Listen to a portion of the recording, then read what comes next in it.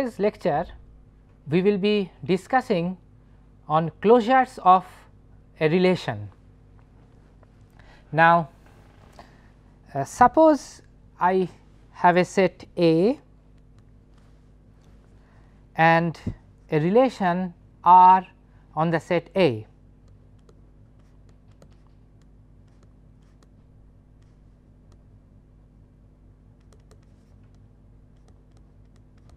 That is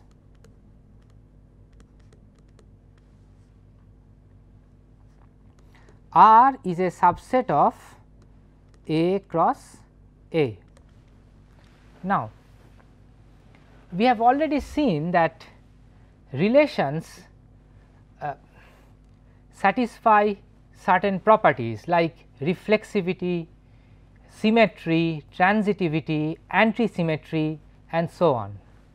So, we will be particularly discussing on three properties reflexive, symmetric and transitive. So, reflexive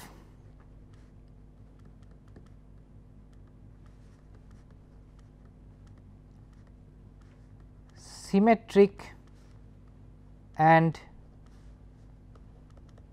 transitive properties.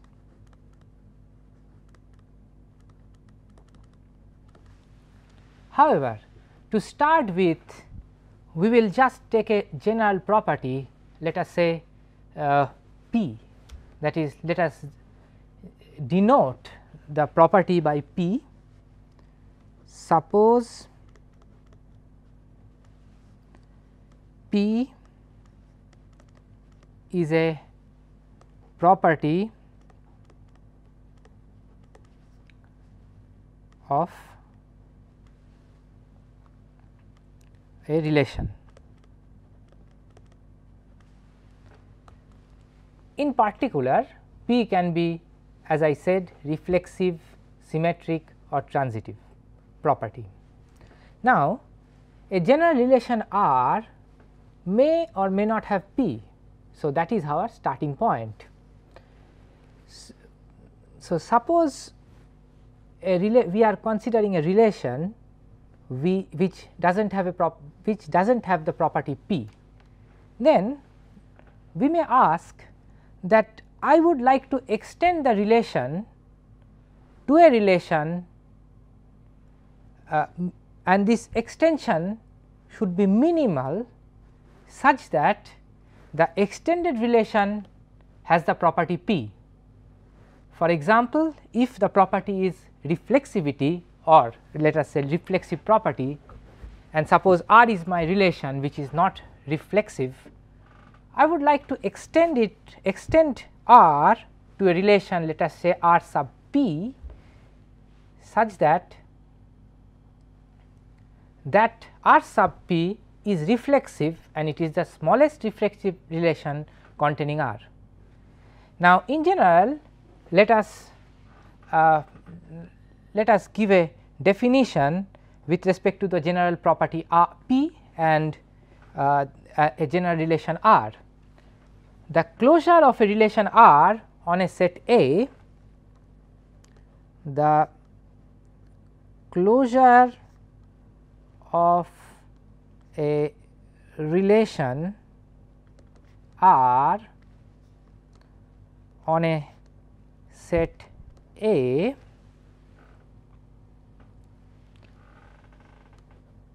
with respect to a property P say is the smallest relation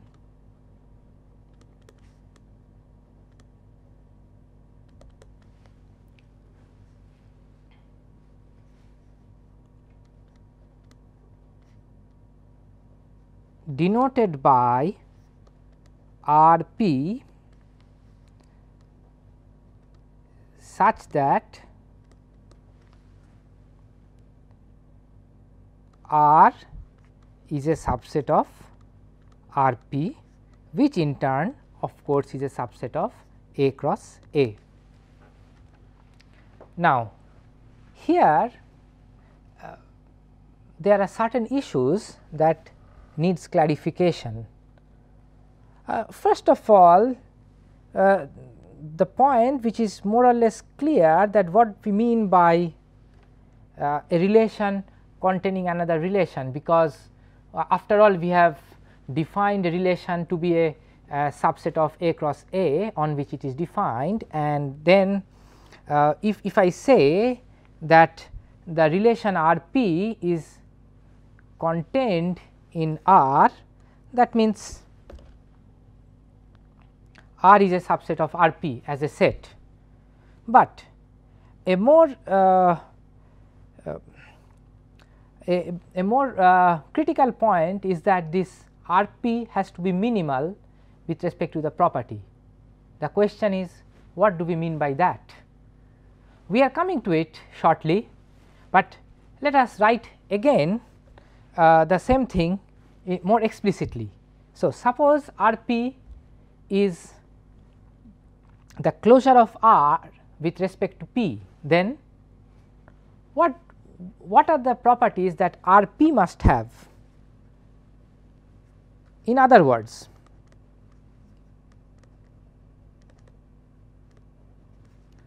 suppose R P is the closure of R with respect to the property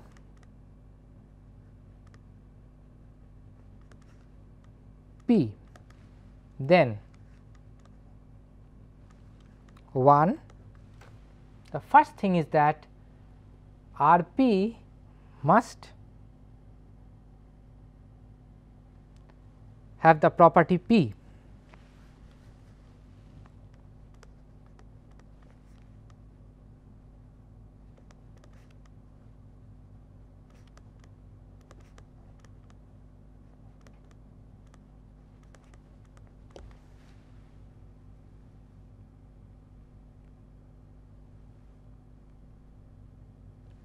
Then second R must be a subset of R p which in turn is a subset of A cross A. And third,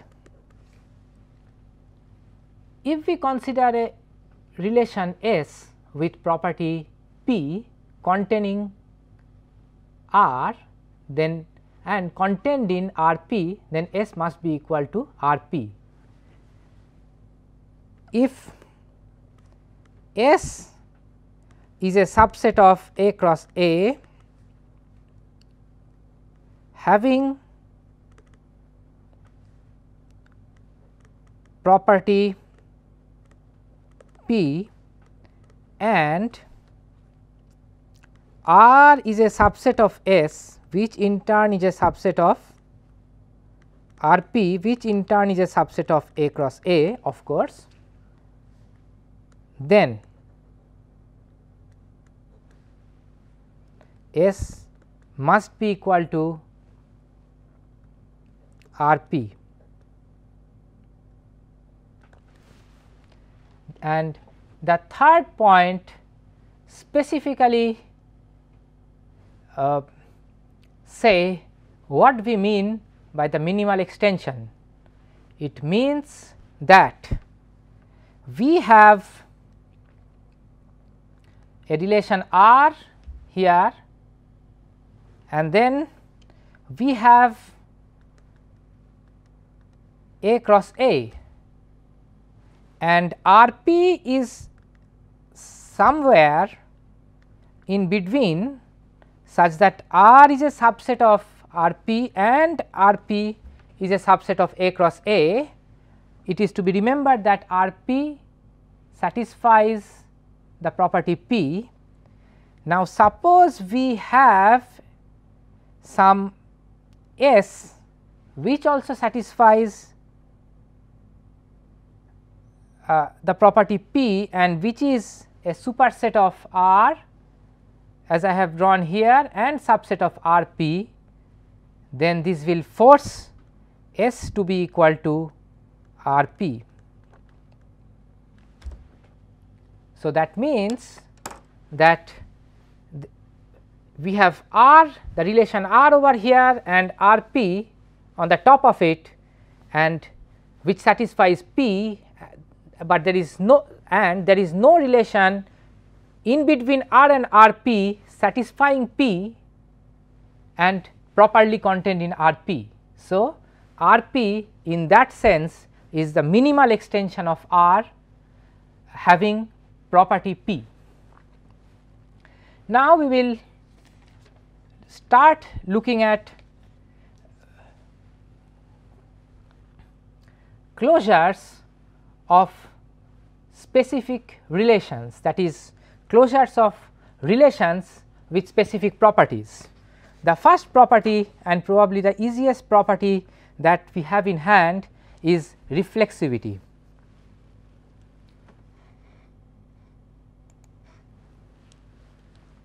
So, we consider now reflexive closure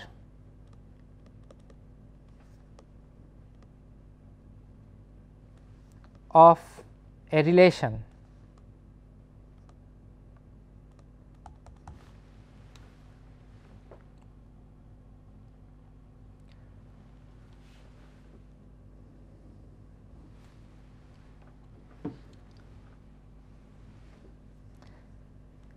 Suppose R is a relation on A, the reflexive closure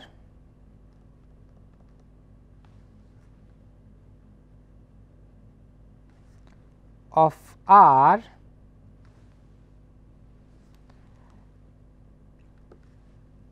is a relation R C say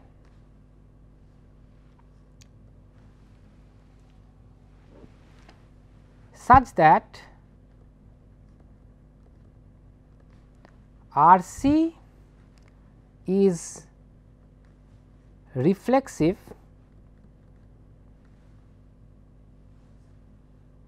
and suppose S is any reflexive relation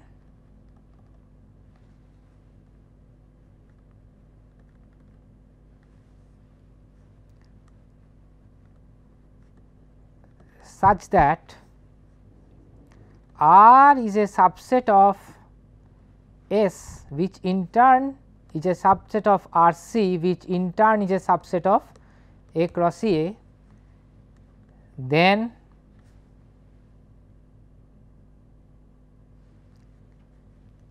S equal to R C.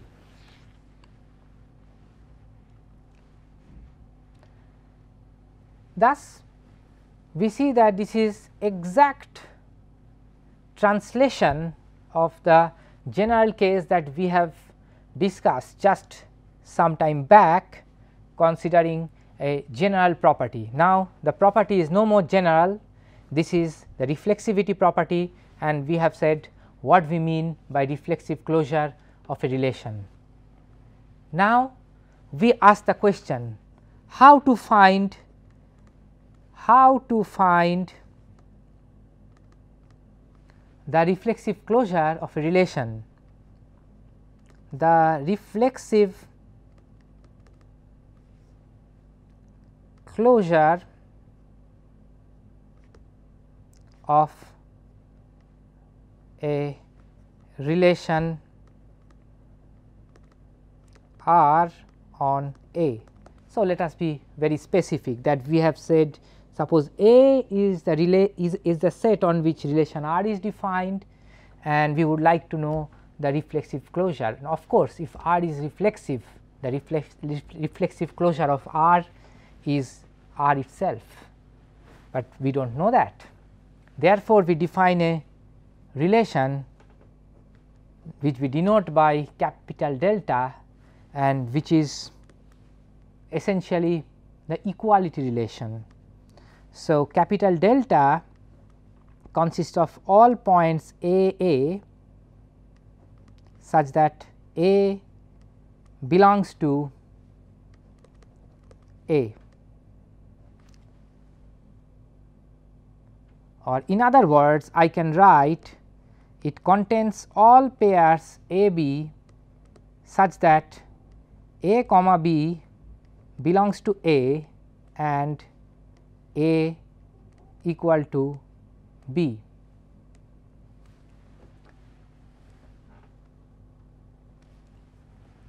All right. So, this is the equality relation.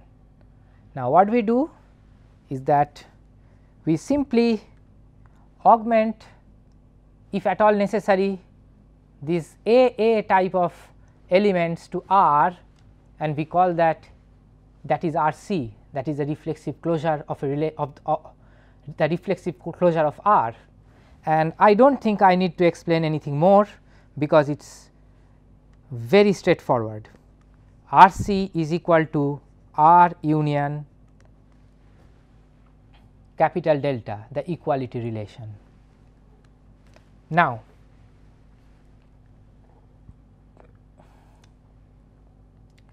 suppose we are given R in terms of a matrix. That is instead of R we are given the matrix corresponding to R that is M R. And then uh, it is very direct that the equality relation is nothing but the identity matrix all right. So, only the diagonal elements will be 1 and rest will be uh, zeros. So, we are assuming here assuming that A is of size n all right. So, delta is this thing the identity matrix and MR of course is a is a matrix is the matrix corresponding to R. And if we want to know the matrix corresponding to RC so that is M R C we can just write this is equal to M R union delta because we have already uh, told that R C is R union delta and we know that from our previous lecture that this is equal to M R or M delta. And M delta essentially is the identity matrix. Therefore, this is M R or I n where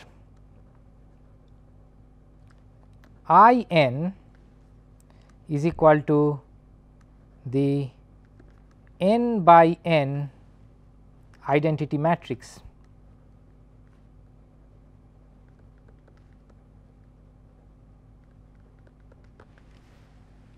All right. So, this is easy, but well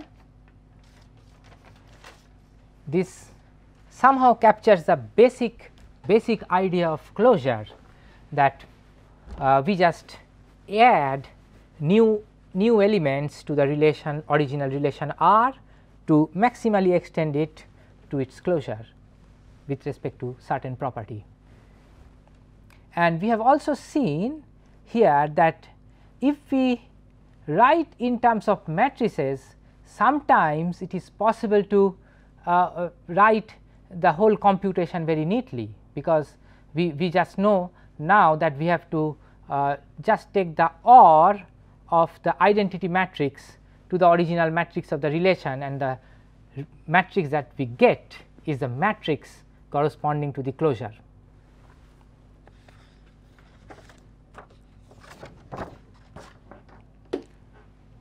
Now, let us look at an example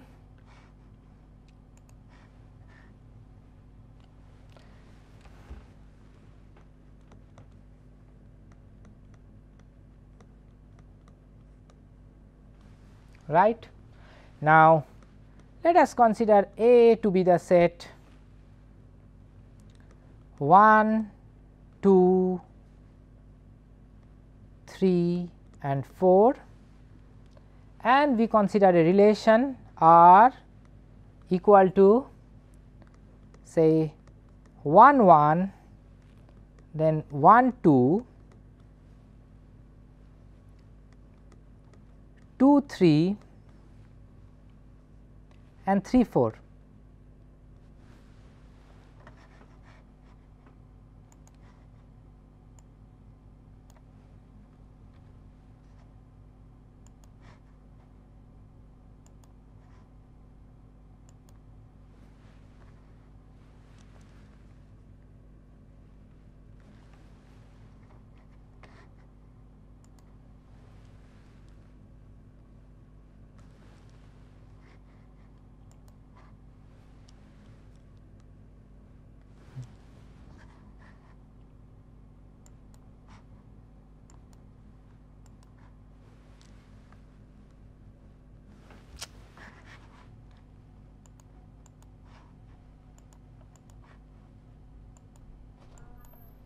Link it. Huh? Link. Not linking, huh? This one is the link. this is a link. Ah, yeah. I am doing it, but Now now it will come. it's okay now. Mm, okay, okay. So, uh, I have to press here. It was not happening actually when I pressed there, but it was not happening. But anyway,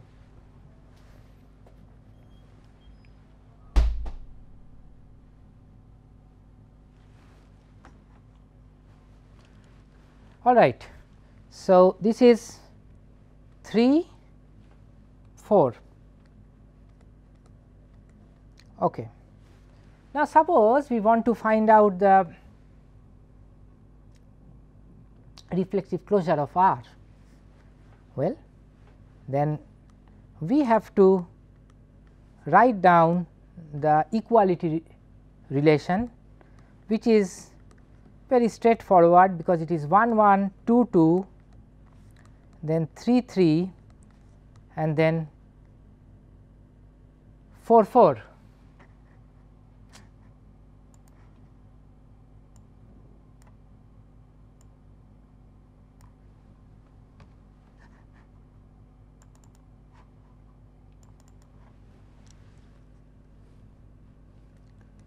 Four, four.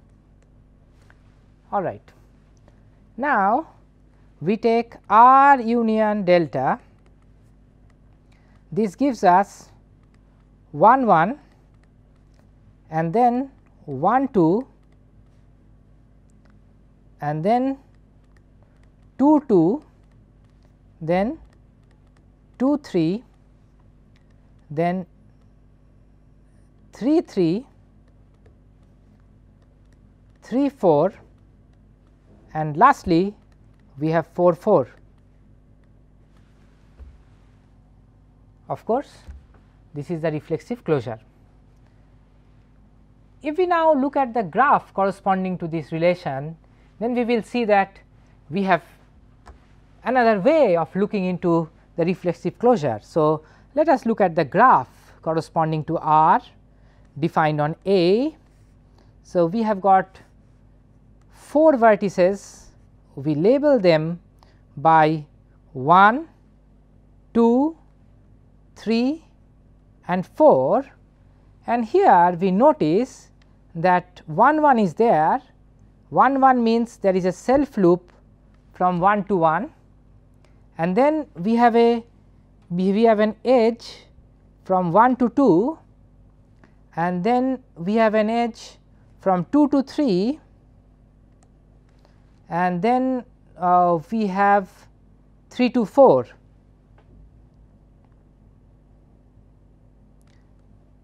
This is the original relation given by the given by R and finding out its reflexive, reflexive closure is just putting self loops at each vertex that makes each of the vertex related to itself and where there is already a self loop that is in this case 1 we do not have to do anything. So, this is the reflexive closure of the relation and a relation R and the graph corresponding to it.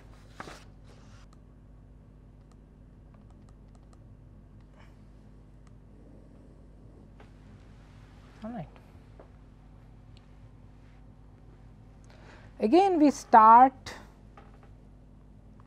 with R, suppose R is a relation on a set A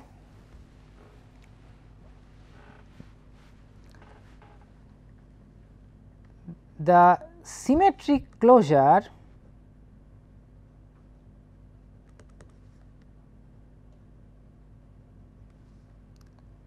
R s of R is a symmetric relation containing R is a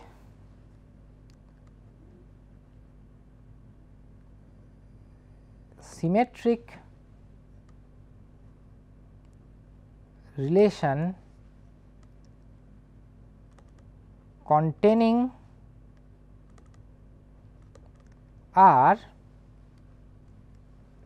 such that if S is another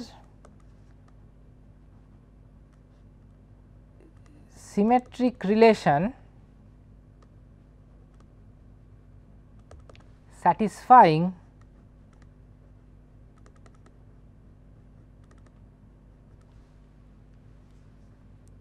R subset of S subset of R s subset of A cross A, then S equal to R s.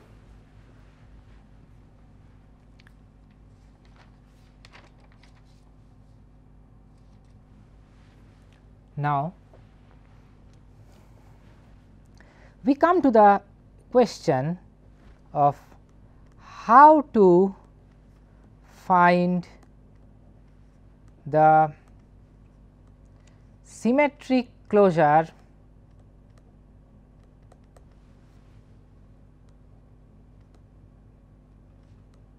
of R.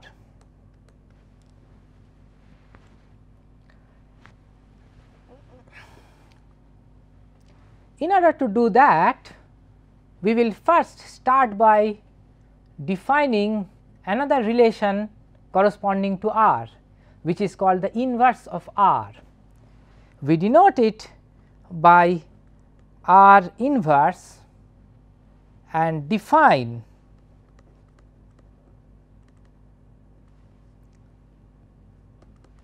as A R inverse B if and only if B R A.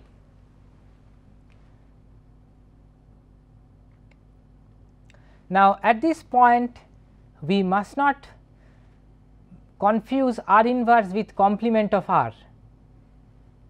Since R is a subset of A, cro A cross A, there is a set theoretic complement of R which we usually denote by R overline which is essentially A cross A set minus R. Now, when we translate it in the language of relations, this will mean that A R complement B if and only if A is not related to B. This is our complement, but we are not here defining complement of R, we are defining R inverse where we say that A is related to B if B uh, by R inverse if B is related to A by R. Now, what we claim over here is that the symmetric closure of a relation uh, R that, that we are denoting at R sub s is nothing but R union R inverse. Now, we have to see why it is true.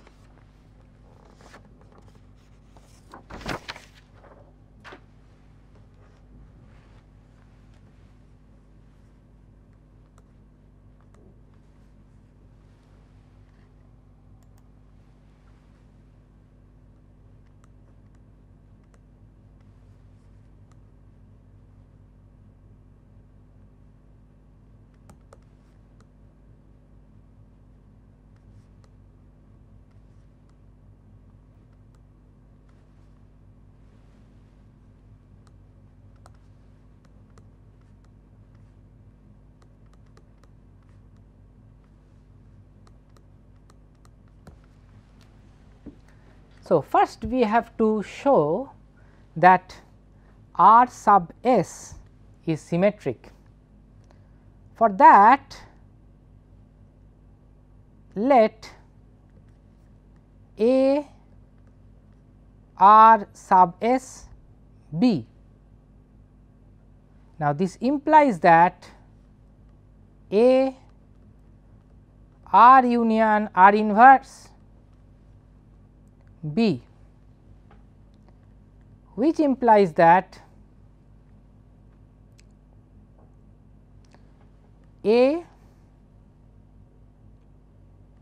R B or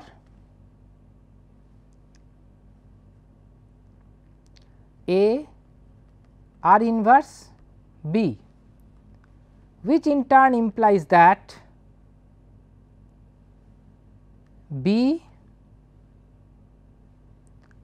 R inverse A well that is the definition of R inverse we have said that A R B if and only if A R in B R inverse A. So, since here we have got A R B here therefore, I can write B R inverse A.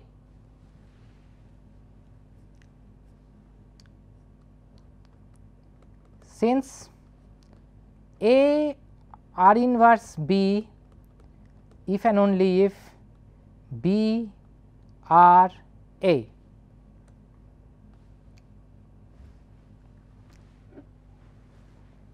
Now, or B R A. Therefore, we see that this is B R A or B R inverse A, but that means that B is R union R inverse A which in turn means B R S A because R S is R union R inverse. Therefore, we see that A R sub S B implies B R sub S A,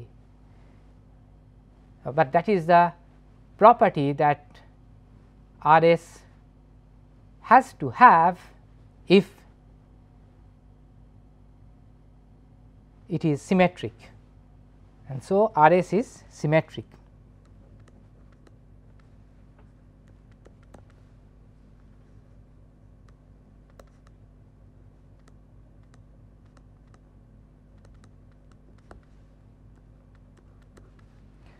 The next property that we have to show is that R is a subset of R s, but that is extremely straightforward over here because R s is union of R and R inverse and therefore, we can write that R is a subset of R union R inverse which is equal to R s. Now, we come to the third property which is the minimality. So, now let us suppose that we have a relation let us call it T which is symmetric and which is uh, sandwiched between R and T. So, suppose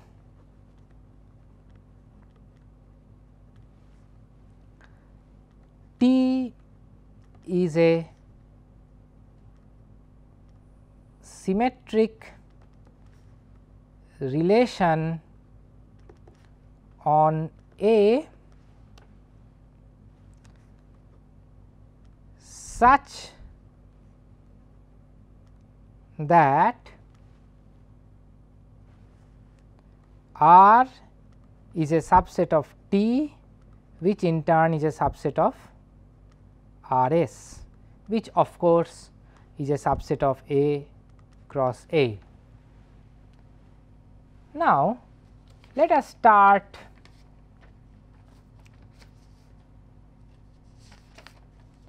let us start from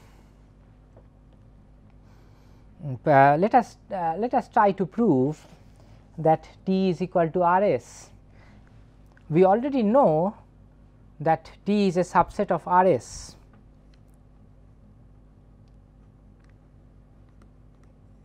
Clearly, T is a subset of R s.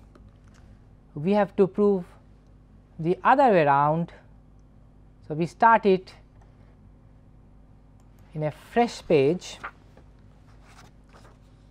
right.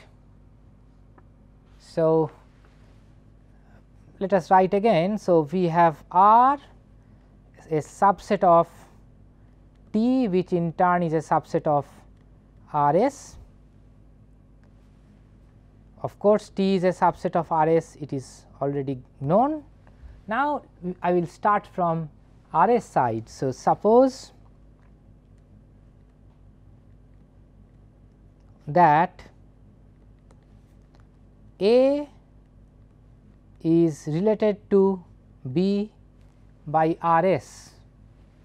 Now, this implies that A is related to B by R or A is related to B by R inverse. This is because R s is a subset of R union R inverse. Now, this implies that A is related to B that is all right or B is related to A okay, because that is by the definition of R inverse we know that A R inverse B both B impl implies B R A.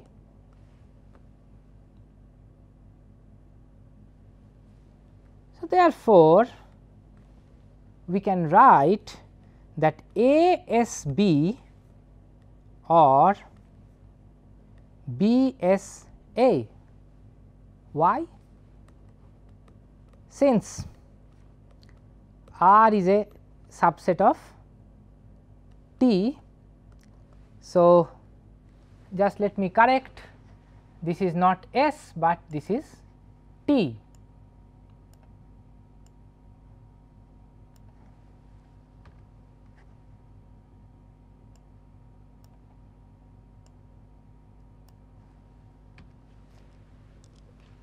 So, instead of S there I must write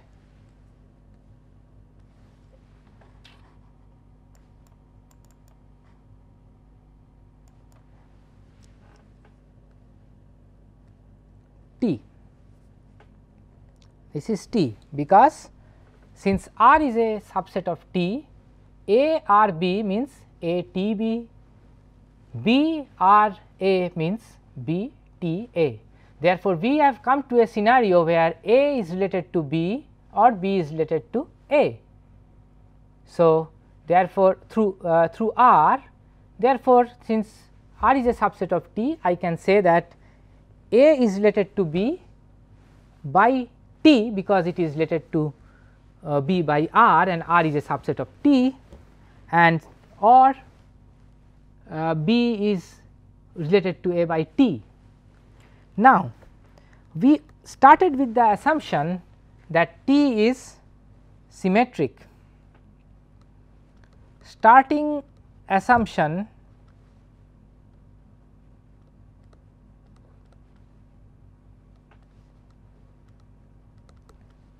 is that T is symmetric. Okay. So, therefore, A T B or A T B here this thing B T A is A T B because T is symmetric and therefore, we have the same thing we have A T B or A T B therefore, this implies that A T B.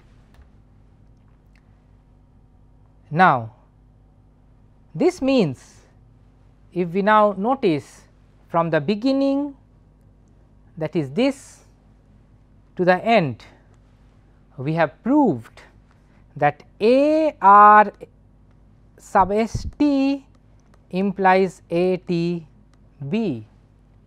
This implies that R S is a subset of T, but already we knew that T is a subset of R S.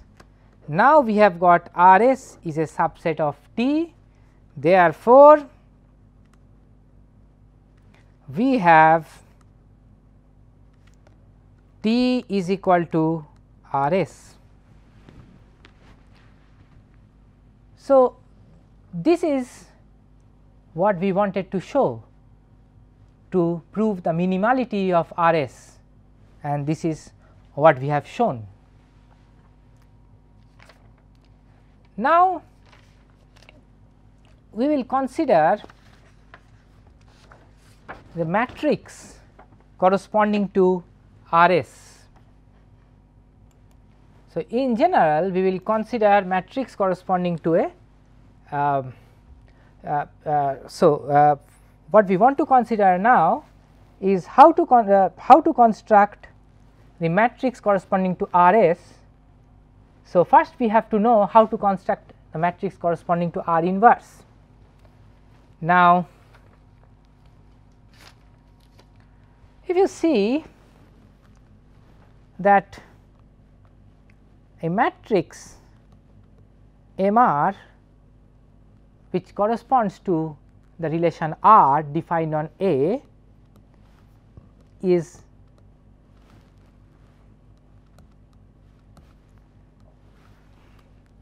given by M i j n cross n where the number of elements in A is n on which R is defined and uh, further to uh, specify the matrix we need to write the elements of A in a in some order which we fix afterwards. So, suppose when we write in that order the elements of A is A 1 up to A n, then M i j is equal to 1 if A i is related to A j is 0 if A i is not related to A j. Now, suppose we consider the matrix corresponding to M r inverse. Now, suppose we denote this matrix by M i j bar sorry M i j uh, prime. Now, m i j prime is defined in this way m i j prime is equal to 1 if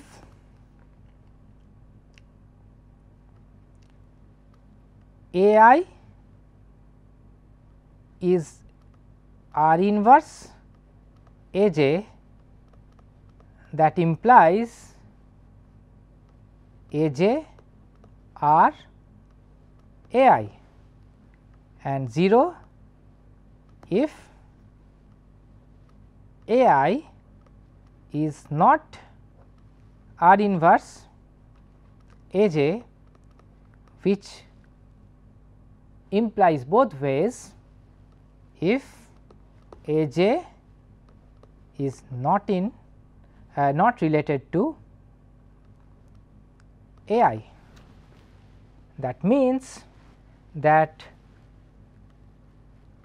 m prime sub i j equal to m j i because when a j is related to a i then m sub j i is equal to 1 well then m prime sub i j is 1 therefore, this relation holds.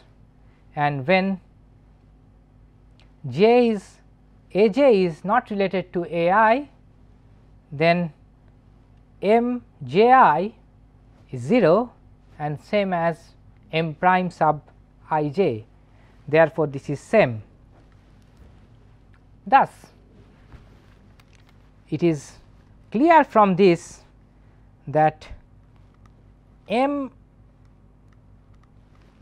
sub R inverse that is the matrix corresponding to R inverse is equal to the transpose of the matrix corresponding to R, because in the new matrix the i j is switched that means rows and columns are switched.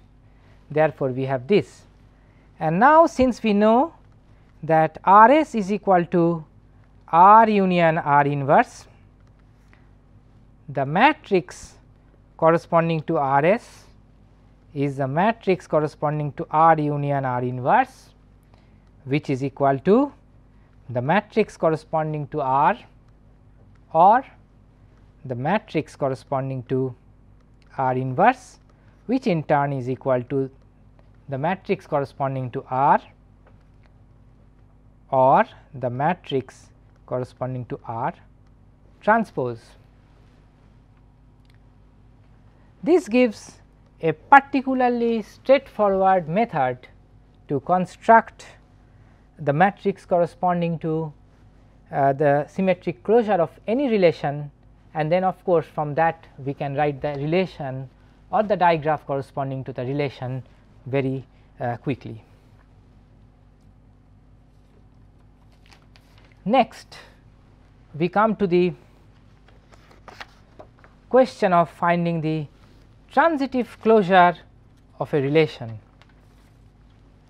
The transitive closure of a relation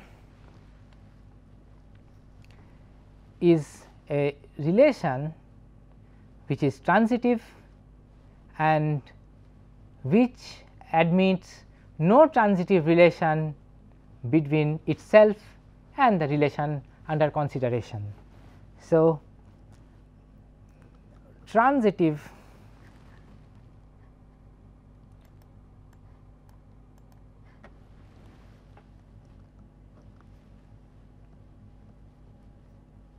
transitive closure of R on A is a relation we usually define transitive closure as R superscript plus. Will I will read it as R plus is a relation R plus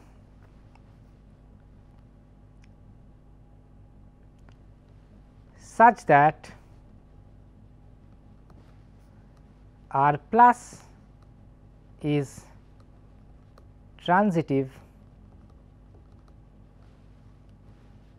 and any relation T on A which is transitive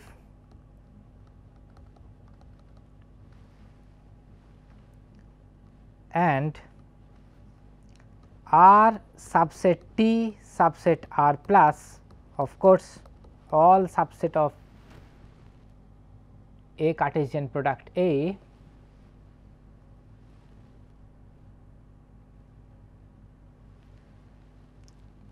is equal to R plus that is T is equal to R plus.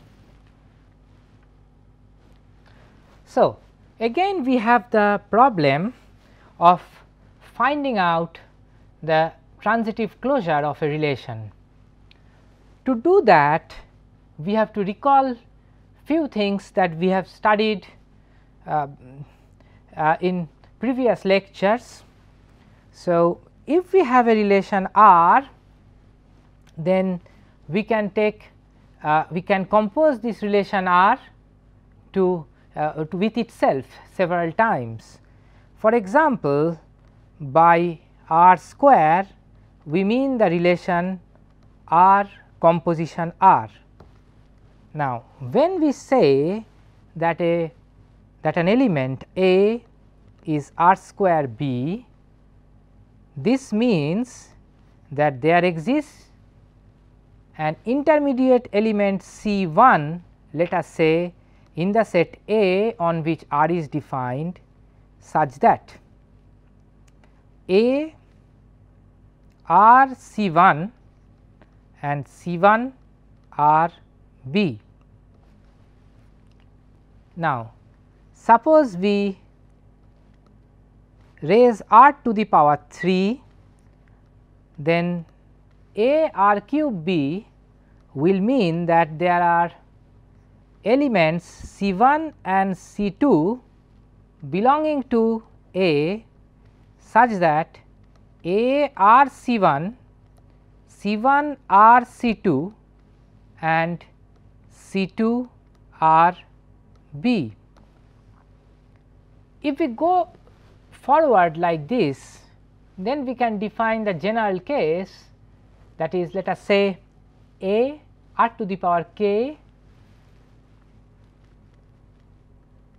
b all right.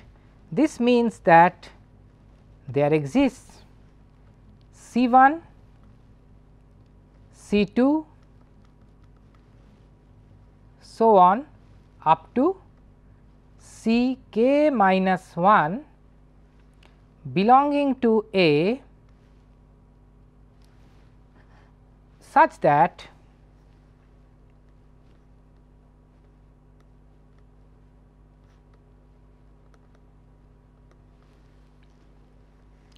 A R C one comma C one R C two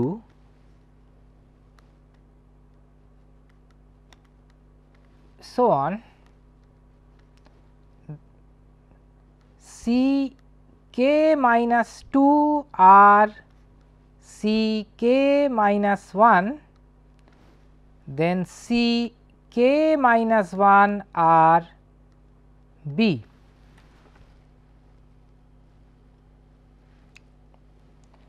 So, we see that we can have sequence of powers of R uh, defined in this way that is R R square R cube so on R k and so on. We can construct a relation by taking the union of all these uh, relations. So, we consider the relation that we get by taking r union r square union r cube union moving in this way r k union so on. In a compact way we can write this as i equal to 1 to infinity r raised to the power i. And what can be proved is that this is same as r plus that is the transitive closure of r. We will stop here in today's lecture and we will continue discussions on closure of relations particularly closures uh, particularly the closure of transitive relations in the next lecture. Thank you.